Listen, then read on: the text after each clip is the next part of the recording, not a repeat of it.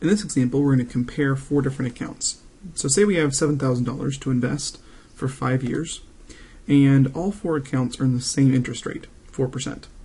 What we want to see is how much each account will have at the end of those five years, depending on how often the interest is compounded.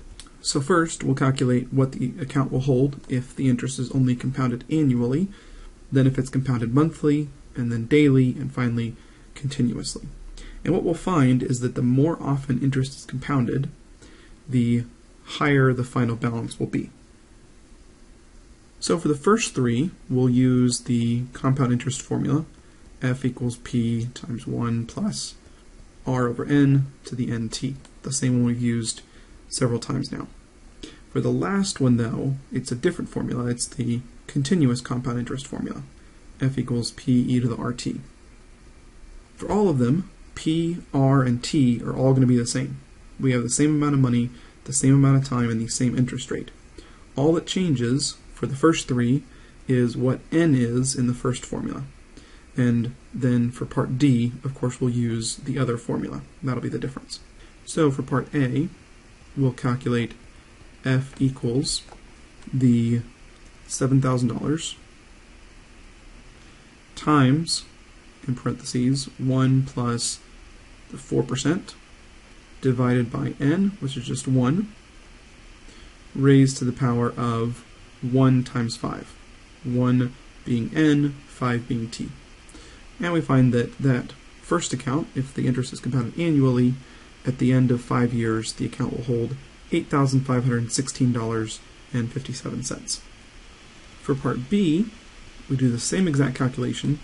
All that changes is what n equals.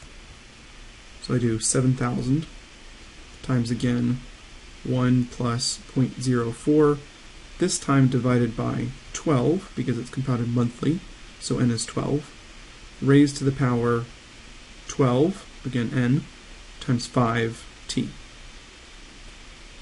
And we find that the second account, if the interest is compounded monthly, the final balance will be $8,546.98. So we observe the trend that we expected. The more often interest is compounded, the higher the balance will be at the end. One more, part C, using the same formula. Again, F equals P times 1 plus R divided by N now is 365 it's compounded daily.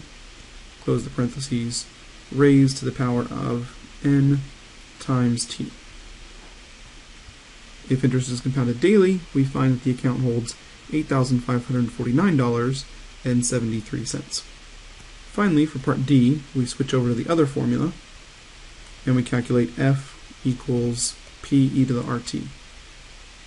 So 7,000 P times E to the R, 0.04, times T, 5. And we find that that last account holds $8,549.82 at the end of the five years. So again, we observe what we expected, that the more often interest is compounded, the higher the final balance will be. The most dramatic effect is when we increase from annually to monthly compounding. Monthly to daily increases by a little bit, and then the difference between compounding daily and compounding continuously is not all that dramatic. It's only about 9 cents on this $8,000 balance. But that is much more than the account would earn if it's only compounded annually.